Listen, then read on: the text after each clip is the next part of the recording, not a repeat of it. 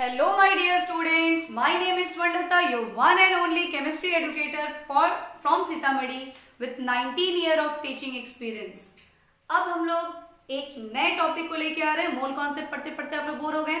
तो अब एक बहुत ही इजी और बहुत ही इंटरेस्टिंग टॉपिक लेके हम लोग आए हैं। That is percentage composition empirical and molecular formula ये आपको बहुत इजी लगेगा और बहुत मज़ा भी आएगा। बट मुझे लगता है कि मोल कॉन्सेप्ट के तीन, चार वीडियोस शॉर्ट्स वीडियोस के बाद आपको मोल कॉन्सेप्ट भी बहुत अच्छे से क्लियर हो गया होगा। उसमें कोई डाउट नहीं होगी। Percentage composition empirical and molecular formula देखिए परसेंट कॉम्पोजिशन का मतलब क्या होता है कि कोई भी सबस्टांस जिन कॉम्पोनेंट से मिलके बने होते हैं, उनकी कितनी परसेंटेज अवेलेबल है उस कंपाउंड में। किसी भी कंपाउंड में वो जिन एलिमेंट्स के कॉम्बिनेशन से बने हुए होते हैं, उनकी कितनी परसेंटेज अवेलेबल है दैट इज़ परसेंटेज कॉम्पोजिशन देखिए, आज गर्मी बहुत है, मेरी, मेरे यहाँ लाइट भी नहीं है यहाँ पर एसी भी ऑफ़ है और फ़ैन भी बंद करना पड़ रहा है, क्योंकि आपको साउंड अच्छा है। तो ये बहुत बड़ा सैक्रिफाइस है मेरा। सो so, आप लोग बहुत अच्छी तरह से सारे टॉपिक्स को पढ़िए। देखिए परसेंट कॉम्पोजिशन अगर हम लोग निकालना चाहते हैं इन H2O ठीक है? अगर H2O में परसेंटेज कॉम्पोजिशन निकालना है इट मीन्स कि हम लोग को कैलकुलेट करना है परसेंटेज ऑफ़ H या percentage of O here because by two elements it is form तो हम कैसे इसका परसेंटेज निकालेंगे? हम इसके एटॉमिक मास को ग्राम एटॉमिक मास को two into one divided by gram atomic mass देखिए ग्राम एटॉमिक मास टर्म इसलिए यूज़ किया जा रहा है बार बार, क्योंकि जो एटॉमिक मास हम लोग लेंगे, वो ग्राम एटम का लेंगे, यानी कि मोल का लेंगे, यानी ग्राम के टर्म में ही एक्सप्रेस करेंगे। Six point zero two two into ten to the power twenty three items का। अब हम लोग ए एम यू में इसको एक्सप्रेस नहीं कर रहे हैं। डिवाइडेड बाई इसके पूरे के मॉलिक ग्राम मॉलिकुलर मास को आप लिखिए तो टू प्लस सिक्सटीन यानी ये एटीन इंटू हंड्रेड ठीक है? ये परसेंटेज हो गया एच का इन वाटर अगर आप ऑक्सीजन की परसेंटेज निकालना चाहते हैं तो आप क्या करेंगे? ऑक्सीजन का एटॉमिक मास यानी 16 अपॉन टोटल यानी कि 2 plus sixteen means eighteen into hundred आप इसको कैलकुलेट करेंगे this are the percentage composition of water ठीक है? अगर आपके पास कैल्शियम कार्बोनेट है और आप इसमें परसेंटेज कॉम्पोजिशन निकालना चाहते हैं। तो वेरी सिंपल अगर आपको परसेंटेज ऑफ़ कैल्शियम निकालनी है तो आप क्या करेंगे? कैल्शियम का atomic mass means forty upon पूरे का आप कैलकुलेट कर लो forty plus twelve plus sixteen into three means forty eight that become hundred hundred into hundred यानी जिस एलिमेंट की परसेंटेज निकालनी है, उसका mass gram atomic mass by molecular mass gram molecular mass of that substance into hundred बस ये करनी है आपको। यानी पूरे का मोलिकुलर मास आप निकाल लीजिए ग्राम और फिर जिस एलिमेंट का परसेंटेज निकालना है उसका ग्राम एटॉमिक मास अगर हम परसेंटेज ऑफ़ कार्बन निकालते हैं तो ये होता है twelve upon hundred into hundred अगर हम परसेंटेज ऑफ़ ऑक्सीजन निकालेंगे तो ये क्या हो जाएगा? थ्री इंटू सिक्सटीन यानी 48 अपॉन 100 इंटू हंड्रेड तो this are the way to determine the percentage competition I think ये बहुत इजी टॉपिक आपको समझ में आ गया होगा। जिस एलिमेंट की परसेंटेज निकालनी है, उसका gram atomic mass by total molecular mass in gram into hundred ये हम लोग करेंगे, हम लोग को परसेंटेज निकल जाएगा। इस परसेंटेज को निकालने की ज़रूरत क्यों पड़ी? तो ये जब हम लोग अभी इंपेरिकल एंड मॉलिकुलर फॉर्मूला पढ़ेंगे और कोई न्यूमेरिकल ऐसा होगा जिसमें परसेंटेज गिवन नहीं होगा। तो first we have to find the percentage of the element तब हमारा एम्पेरिकल फॉर्मूला डिटरमाइन होगा एंड देन हम मॉलिकुलर फॉर्मूला को डिटरमाइन कर पाएँगे। तो क्या है इम्पेरिकल और मॉलिकुलर फॉर्मूला तो देखिए molecular formula represents the actual number of atom क्या है? Molecular formula represents the actual number of atoms present in a molecule लेकिन अगर आपसे इंपेरिकल फॉर्मूला बोलता है तो ये क्या होता है तो empirical formula represents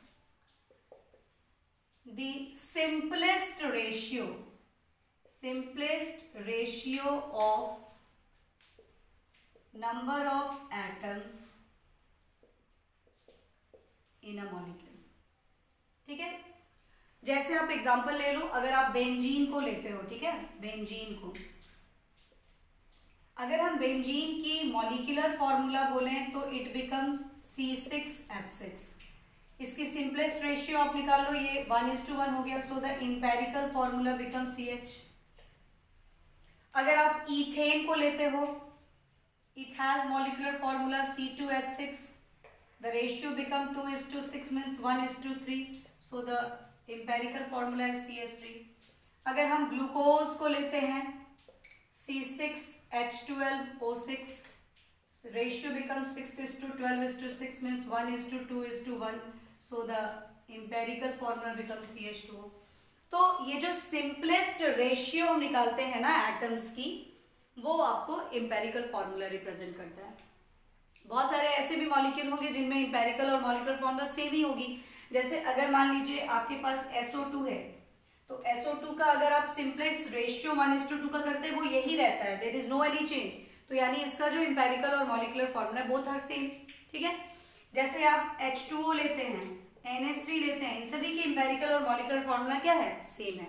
यहाँ पे कोई चेंजिंग नहीं है। बट बहुत सारे ऐसे मॉलिक्यूल्स होते हैं, जिनके मॉलिकुलर फॉर्मूला में एटम्स की जब हम सिंपलेस्ट रेशियो निकालते हैं तो वो एक अनदर फॉर्मूला के फॉर्म में आ जाता है that represents the empirical formula क्या रिलेशन है between molecular and empirical formula तो देखिए रिलेशन होती है molecular formula is equals to molecular formula is equals to n into empirical formula ठीक है? And what is n here तो देखिए, इस एग्जांपल में एन आपको सिक्स है। इसमें आपको एन टू है, इसमें एन आपको सिक्स है। तो जितने टाइम्स जैसे इस इंपेरिकल फॉर्मूला को जितने टाइम्स मल्टीप्लाई किया गया सिक्स टाइम मल्टीप्लाई किया गया then we get the molecular formula इसको टू टाइम मल्टीप्लाई किया गया we get the molecular formula इसको सिक्स टाइम मल्टीप्लाई किया गया वी गेट द फॉर्मूला तो दैट इज़ एन अब ये एन कैसे डिटरमाइन होगा? तो ये डिटरमाइन होगा gram molecular mass by empirical formula mass in gram ठीक है? मॉलिक्यूलर फॉर्मूला मास अगर गिवन है क्वेश्चन में तो ठीक है.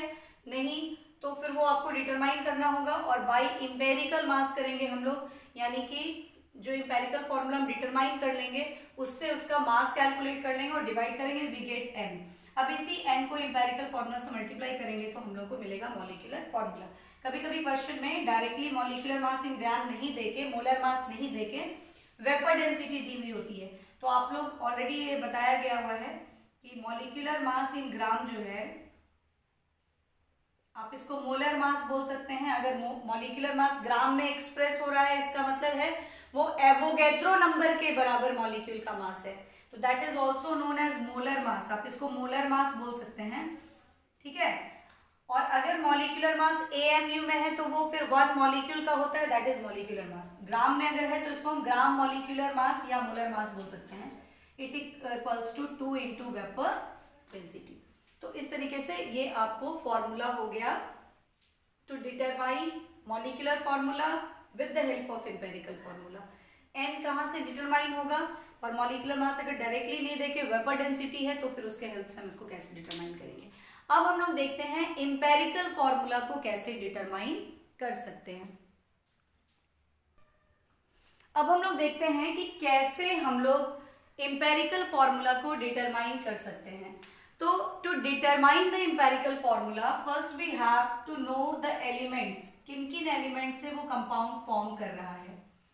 एंड एवरी एलिमेंट्स की परसेंटेज दी हुई होनी चाहिए। परसेंटेज अगर गिवन होगा तो हम given percentage by atomic mass in gram हम लोग डिवाइड उसको कर देंगे ग्राम एटॉमिक मास से। इसके बाद जो वैल्यू आएगी, उससे हम लोग सिंपलेस्ट रेशियो डिटरमाइन करेंगे। And after determining the simplest ratio अगर वो होल नंबर में है देन इट्स ओके अगर नहीं है तो फिर हम उसको होल नंबर में चेंज करेंगे.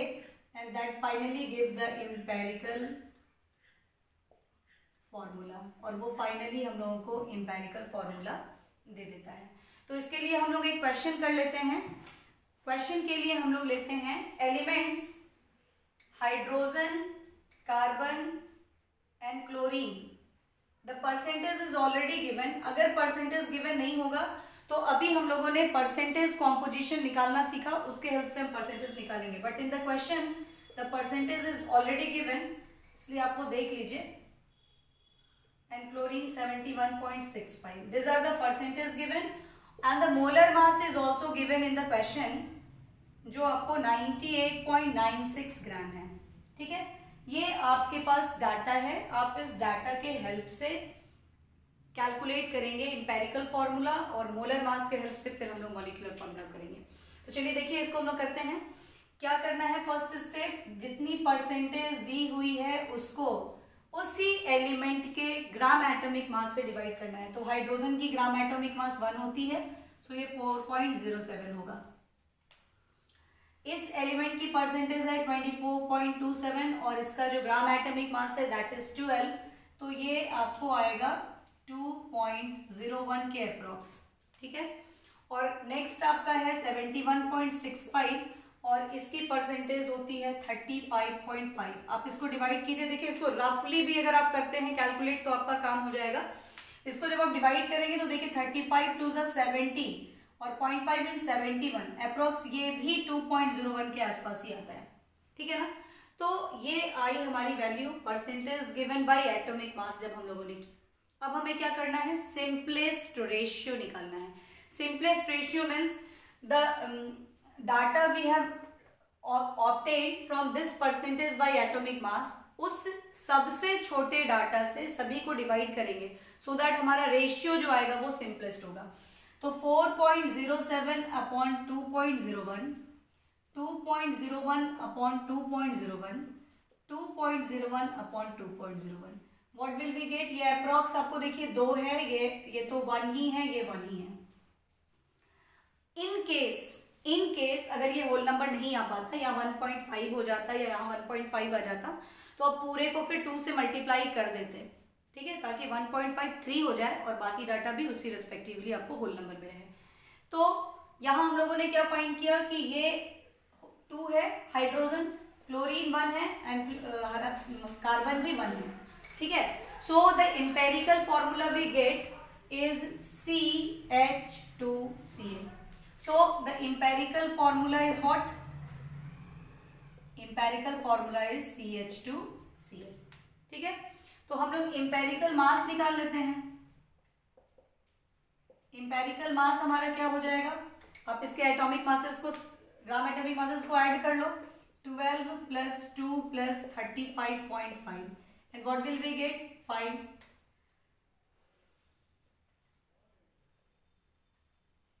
49.5 gram अब n की वैल्यू क्या होती है? Molar mass by empirical mass is 98.96 upon 49.5 ये भी आप अप्रोक्स देखिए डबल ही है 49 मीन्स 50 के आसपास और ये 99 मतलब 100 के आसपास, यानी अप्रोक्स ये टू ही है।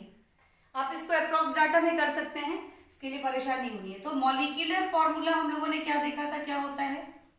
N into empirical formula n into empirical formula n क्या है हमारा? N is two C two H four C L two this is the molecular formula for this question ठीक है? तो इस तरीके से आपको पहले इंपेरिकल फॉर्मूला डिटरमाइन करनी है। मोलर मास क्वेश्चन में होगा। नहीं होगा तो वेपर डेंसिटी होगा। वेपर डेंसिटी से मोलर मास कैलकुलेट कर लो, फिर एन ले आओ और फिर मोलिकुलर फॉर्मूला कर लो। एक दो क्वेश्चन हम लोग और कर लेते हैं। एक ऑर्गेनिक कंपाउंड्स के केस का भी कर लेते हैं, जो थोड़ा सा टिपिकल होता है डिफरेंट होता है, वो भी हम लोग कर लेते हैं। चलिए इस क्वेश्चन को देखते हैं।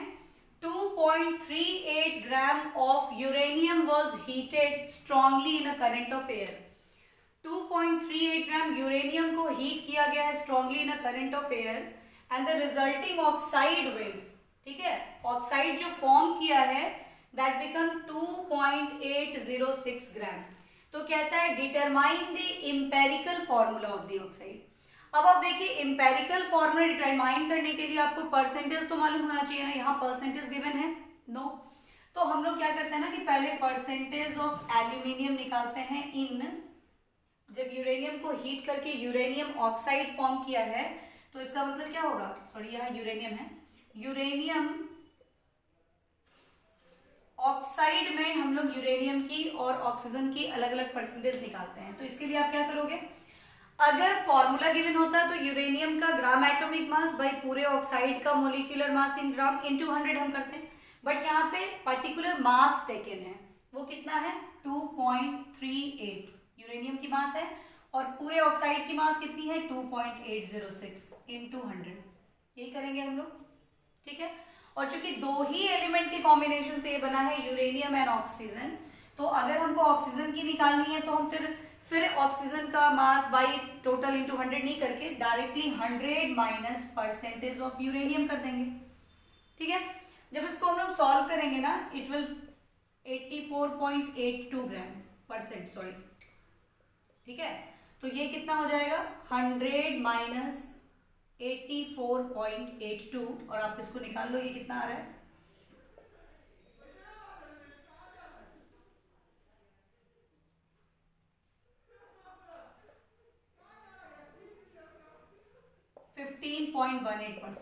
हो गया। अब आप आराम से कर सकते हो। एलिमेंट्स आपके पास इसमें कौन कौन से हैं? एलिमेंट है आपको यूरेनियम एंड ऑक्सीजन। परसेंटेज उसकी दी हुई है, कितनी है? 84.82 एंड 15.18 अब क्या करना है? परसेंटेज बाय एटॉमिक वेट करना है. 84.82 डिवाइडेड बाय 238 एंड 15.18 अपॉन 16 अब क्या करना है? सिंपलेस्ट रेशियो निकालना है. तो पहले सिंपलेस्ट रेशियो निकालने के लिए हम लोग क्या करेंगे? सबसे पहले इसकी वैल्यू लाएँगे. इसको आप डिवाइड करो. ये वैल्यू आएगी zero point three five eight two इसके अप्रॉक्स और इसकी वैल्यू आएगी zero point nine four eight seven two eight seven five ठीक है?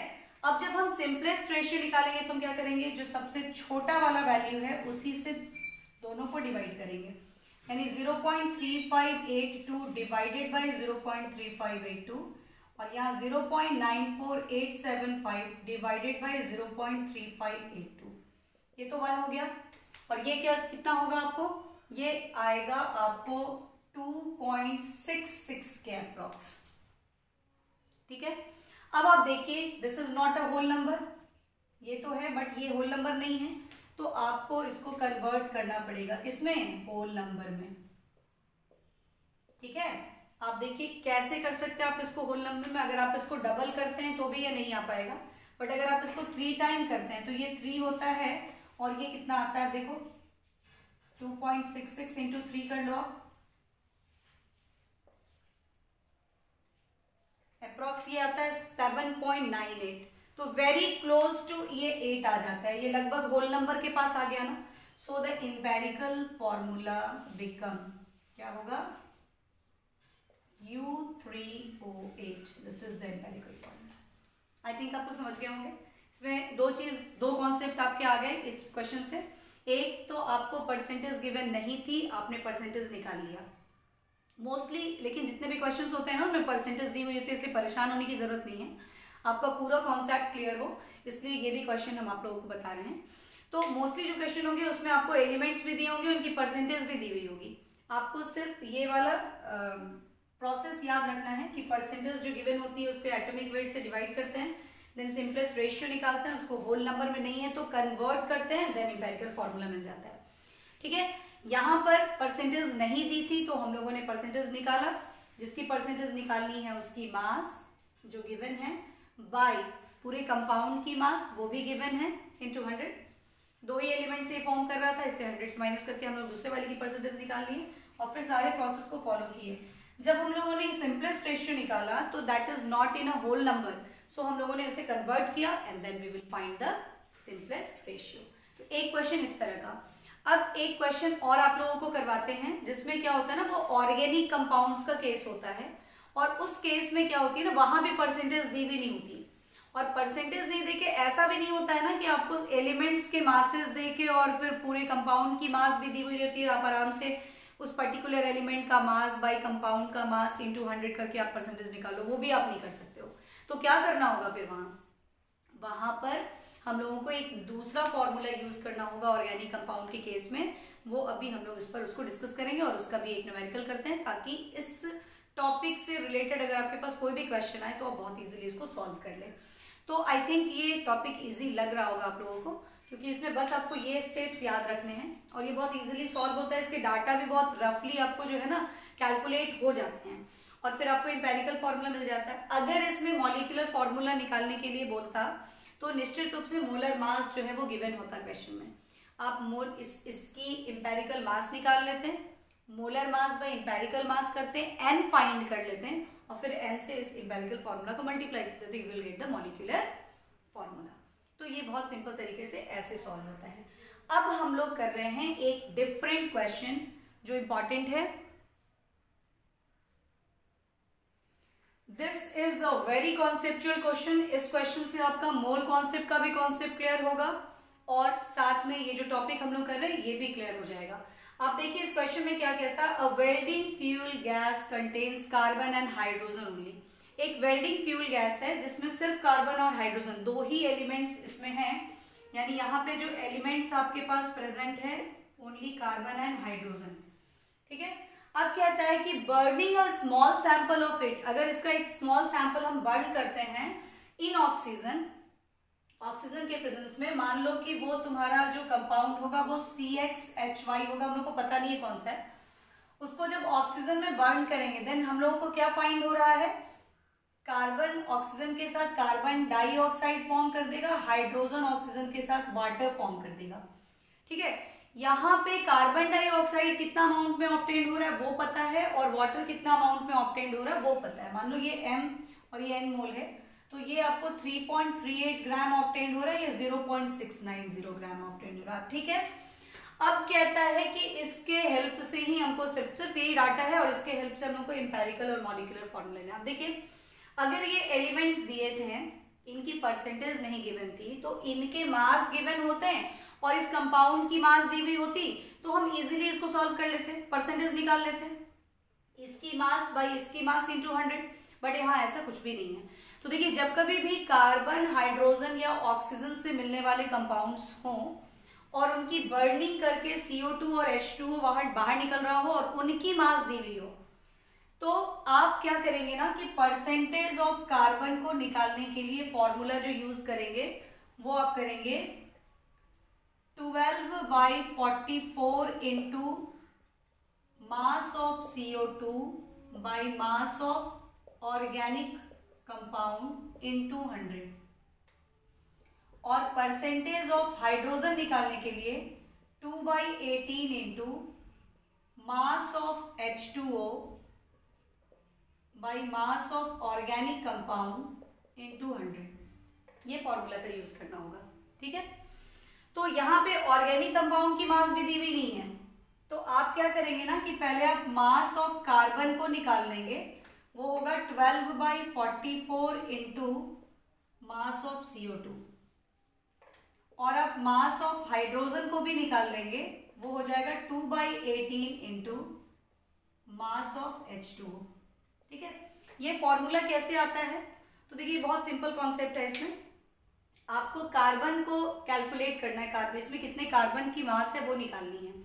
तो अब देखिए, इस पूरे कंपाउंड का कार्बन कहाँ आ गया? इस सीओ टू में आ गया। ठीक है?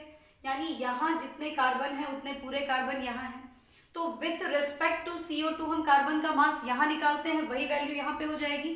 तो हम लोग देख रहे हैं ना कि ये कितना है ट्वेल्व और ये सिक्सटीन इंटू यानी टोटल फोर्टी फोर जो है इसका मोलर मास है। उस forty four gram CO two में कितने कार्बन है? ट्वेल्व ग्राम कार्बन है।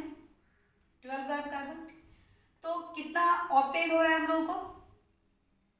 अगर वन ग्राम के लिए हम निकाल लें तो ये ट्वेल्व बाई फोर्टी फोर और जितना ग्राम हमको एक्स ग्राम मान लो कि सीओ टू ऑप्टेन हो रहा है यानी जैसे यहाँ पे कितना हो रहा है? Three point three eight gram obtain हो रहा है तो ये क्या हो जाएगा? Twelve by forty four into gram इस तरीके से ये हमारे पास कार्बन का मास निकल गया। ये जितना मास यहाँ आया ना, वही मास यहाँ है। सिमिलरली वाटर के केस में आप देखिए, ये टोटल 18 ग्राम है। इस पूरे 18 ग्राम में कितना ग्राम हाइड्रोजन है? दो ग्राम टू ग्राम ठीक है? तो वन के लिए टू बाई एटीन हो जाएगा फिर जितने के लिए कह रहा है उतने पे हम निकालेंगे। तो उससे ये फॉर्मूला हमारा आता है। तो उतना आपको अभी नहीं करना है। ये जब हम लोग ऑर्गेनिक कंपाउंड पढ़ेंगे तो वहाँ पे परसेंटेज डिटर्मिनेशन करेंगे। तो आप एक ये फॉर्मूला याद रख लेंगे। In case of organic compound जब परसेंटेज कैलकुलेट करनी हो कार्बन की, ठीक है? अगर कार्बन हाइड्रोजन और ऑक्सीजन भी अवेलेबल होता तो हम लोग कुछ नहीं करते। हंड्रेड माइनस दोनों के परसेंटेज को ऐड कर देते हैं, ठीक है? तो अगर आपके पास कंपाउंड की मास डायरेक्टली दी है तो आप ये फॉर्मूला यूज़ करके बना लो। अगर नहीं दी हुई है तो आप पहले मास निकाल लो कार्बन की, ये फॉर्मूला यूज़ करके CO2 के मास के हेल्प से, और हाइड्रोजन की मास निकाल लो, इस वाले फॉर्मूला का यूज़ करके। देखिए, ये न्यूमेरिकल आप लोगों को इसलिए बताया जा रहा है, इसलिए बता रहे हैं हम क्योंकि आपकी एनसीईआरटी के एक्सरसाइज का क्वेश्चन है। And this is a very conceptual question इसको समझना बहुत ज़रूरी है, क्योंकि ये बहुत इंपॉर्टेंट क्वेश्चन भी है कॉम्पिटेटिव एग्जामिनेशन में भी आ जाता है बोर्ड्स के एग्जामिनेशन में भी आ जाता है। तो अच्छे से इस कॉन्सेप्ट को क्लियर कीजिए, और अगर कोई डाउट्स है तो चैट बॉक्स पे आप डालिएगा। ठीक है? तो यहाँ, ये पहले तो आपको ये फॉर्मूला ध्यान रखना है। आई थिंक आप लोग समझ गए होंगे कि कैसे ये फॉर्मूला हमारा आ रहा है। क्योंकि इस कंपाउंड का पूरा कार्बन CO2 में है और पूरा हाइड्रोजन वाटर में है।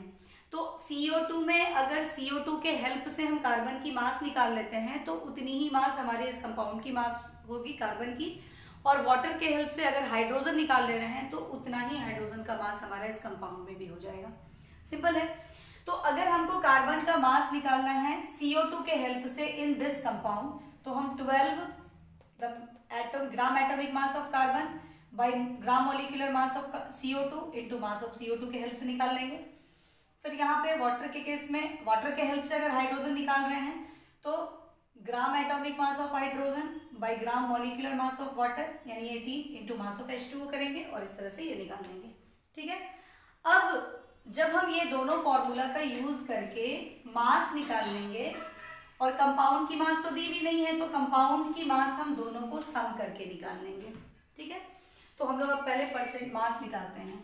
Mass of carbon 12 by forty four into कितना दिया हुआ है CO2 का मास दैट इज़ 3.38 और फिर हम निकालेंगे मास ऑफ़ हाइड्रोजन ये टू बाई एटीन इंटू कितनी मास दी हुई है वाटर की? Zero point six nine zero I think ये फॉर्मूला क्लियर हो गया होगा। कैसे अप्लाई हो रहा है यहाँ पे? Twelve by forty four into mass of CO two which is given in the question two by eighteen into mass of water which is given in the question ठीक है? आप इसको अप्लाई करके आप इसकी वैल्यू पहले डिटरमाइन करेंगे। जब हम लोग इसको सॉल्व करेंगे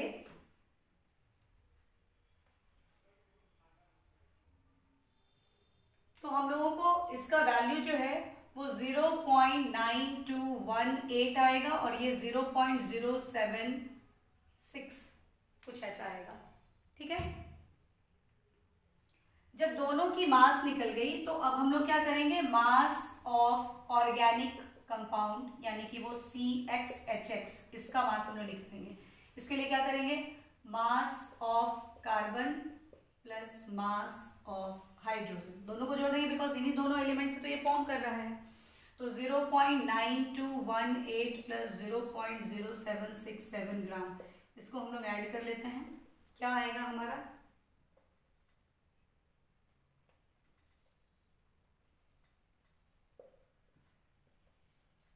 ठीक है? अब क्या करना है? परसेंटेज ऑफ़ कार्बन निकालना है। तो इसके लिए आप क्या करेंगे? Mass of carbon by mass of total compound CXHX into 100 ठीक है? इसको आप करिए। कितना है? कार्बन का मास 0.9218 बाई 0.9985 into 100 ठीक है? जब हम लोग इसको सॉल्व करेंगे then we will find that ये 92.32 परसेंट है। ठीक है? तो चूँकि दो ही एलिमेंट से बना है ना ये तो फिर आप वही प्रोसेस करेंगे मास ऑफ़ हाइड्रोजन यानी कि this much by mass of compound into hundred तो it will take more time ठीक है? तो आप ऐसा करें कि hundred minus percentage of carbon कर दे बिकॉज़ दो ही एलिमेंट से तो बन रहा है ना। तो अगर इतने परसेंट कार्बन होंगे तो हाइड्रोजन कितना हो जाएगा? हंड्रेड में से आप माइनस कर लो। तो hundred minus ninety two point three two percent और ये कितना आ जाएगा? आप इसको सॉल्व कर लो।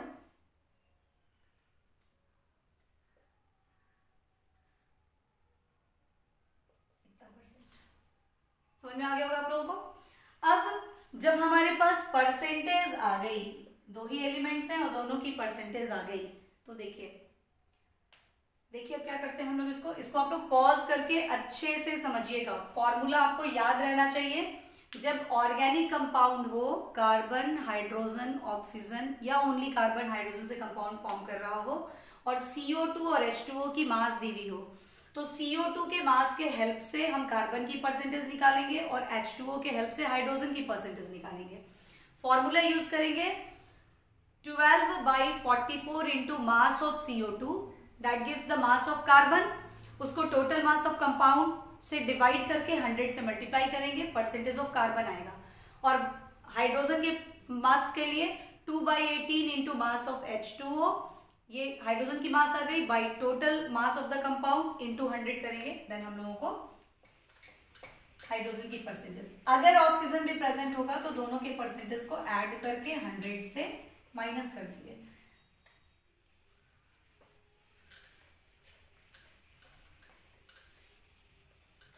अब आप दोनों की परसेंटेज लिख लीजिए, ये क्या हो गया? 92.32 एंड दिस इज़ 7.68 परसेंट ठीक है? नेक्स्ट स्टेप हमारा क्या होता है? जितनी परसेंटेज है उसको उसके एटॉमिक मास से डिवाइड कर देते हैं। यानी 92.32 अपॉन ट्वेल्व और ये 7.68 डिवाइडेड बाई वन इसको आप करो, ये तो 7.68 ही होगा, ये क्या होगा?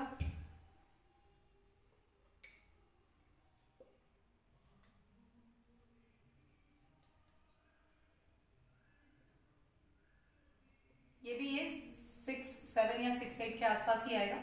अब आप इसका रिलेटिव रेशियो निकालिए या सिंपलेस्ट रेशियो निकालिए।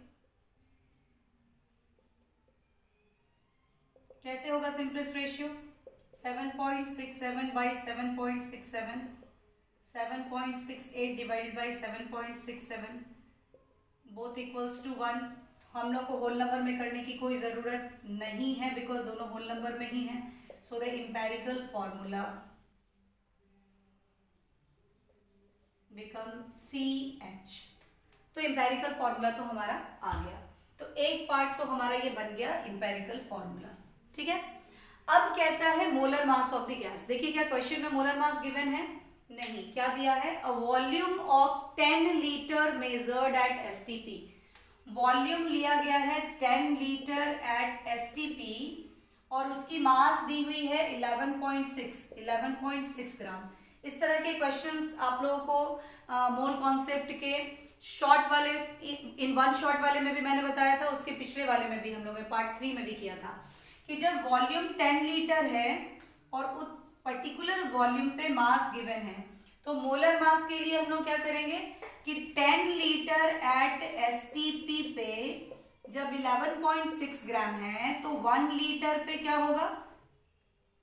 11.6 point six by ten gram तो फिर 22.4 लीटर एट एस पे क्या होगा? That is the molar mass 11.6 point six by ten into 22.4 gram. This is the molar mass. I think आप लोग को ध्यान में होगा। एक मोल में वॉल्यूम कितनी ऑक्यूपाई होती है? मोलर वॉल्यूम दैट इज़ 22.4 और उतने वॉल्यूम पे मास कितना होता है एक मोल में? मोलर मास के इक्वल ग्राम मोलिकुलर मास जिसको हम लोग बोलते हैं। किसी भी सबस्टांस के एक मोल में मास कितना होता है? ग्राम मोलिकुलर मास यानी मोलर मास के इक्वल और वॉल्यूम उस वक्त कितना होता है? 22.4 तो अगर 10 लीटर एट एसटीपी पे इतना मास ये ऑक्यूपाई कर रहा है तो 22.4 लीटर पे वो जितना ऑक्यूपाई करेगा that is the molar mass ठीक है? अब इसको हम लोग कैलकुलेट कर लेंगे कि ये वैल्यू कितनी आती है, ठीक है? तो इसको हम लोग अगर करते हैं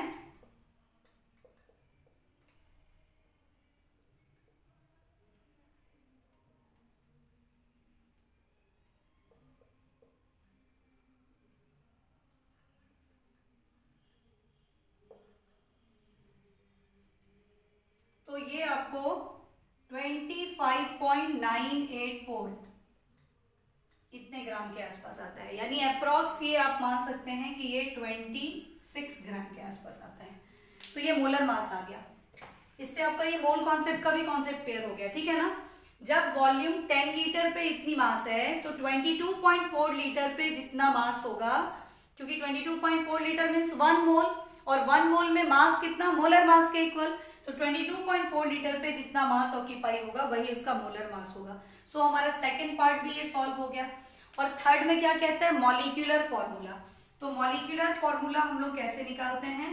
तो molecular formula is equals to N into empirical formula तो इंपेरिकल फॉर्मूला तो हम लोगों को पता है बट एन की वैल्यू पता नहीं है। एन आप कैसे निकालोगे? मोलर मास जो हमारा 26 आया है, और इंपेरिकल मास आप यहाँ से निकाल लो। 12 प्लस वन यानी कि 13 so it become two n की वैल्यू कितनी हो गई? टू तो हमारा मॉलिक्यूलर फॉर्मूला क्या हो जाएगा?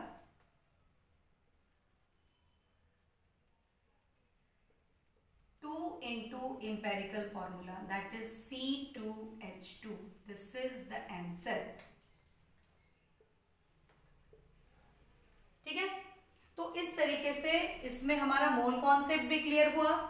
ऑर्गेनिक कंपाउंड के केस में हम लोग कार्बन और हाइड्रोजन की परसेंटेज कैसे डिटरमाइन करते हैं, हम लोगों ने वो फॉर्मूला भी सीख लिया। और लास्टली हम लोग इंपेरिकल फॉर्मूला से मॉलिकुलर फॉर्मूला कैसे डिटरमाइन करते हैं, वो भी हमने सीखा।